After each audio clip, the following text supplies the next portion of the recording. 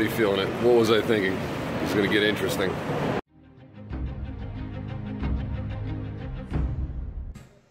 What's going on, guys? Robinson DUP. It's been a while, and I am doing my best to get back into the swing of YouTube. As you can tell by the title of this video, I have started using utilizing the Smolov program. Uh, it's specifically built for squats, but I've blended in uh, bench and deadlift still. But very quickly here, we're starting off with my training partner Matt, starting off with our three by eights. and then you'll see me here starting off with front squats. Now, the reason I'm doing front squats instead of back squats is if you follow my other social media like Instagram, I've had issues with my right hip and my right knee. And the front squats are just allowing me to be more straight up and straight down, get my hips to open up better, and I'm actually able to hit depth a lot cleaner. Uh, it, the movement is just agreeing with me more. Now, will I get back to back squatting? Sure, eventually I probably will. But um, it's just not something that's agreeing with me at the moment. So I'm going to try to run this whole 13 week block um, just doing front squats. Should be challenging. Now, here's Matt once again. Look at that booty, ladies and gentlemen. This is our one by five here that he's doing. And I don't know if you know how Smolov works, but at least in the intro week, you're doing different rep ranges and different percentages of your one rep max within the same day on certain days.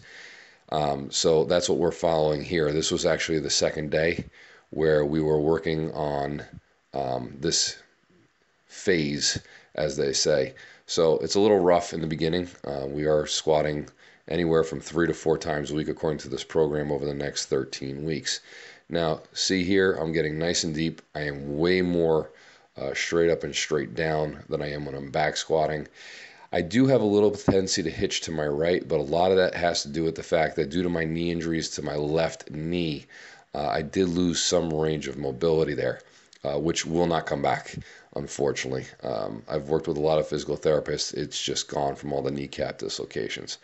So, moving on, I believe this is the two by two um, that we're now hitting. Yep, that should be it. Matt moved this nice and smooth. Uh, he was having some lower back issues, but everything went well. There's my ugly mug. Sorry, ladies and gentlemen, there's no amount of working out that's going to fix that. But once again, uh, really focusing on trying to stay straight up, straight down, and hit depth. Um, it's just a much more comfortable motion for me right now doing front squats. That was easy. So now the last part of this workout is one heavy single. Um, so this is Matt hitting his, and he'll actually show off and pause at the bottom. Nice and easy followed by my last single. This is about 250 pounds that I do for a single.